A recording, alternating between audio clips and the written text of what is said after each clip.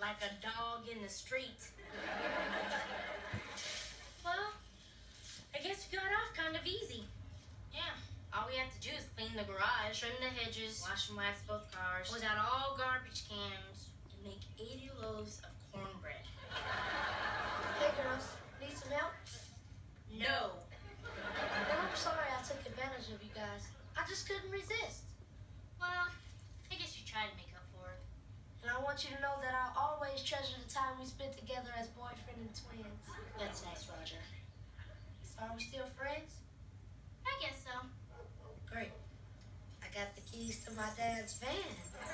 Roger, you can't drive. Who said anything about driving? Forget it, you baggy pants wearer. Never gonna get a woman pervert.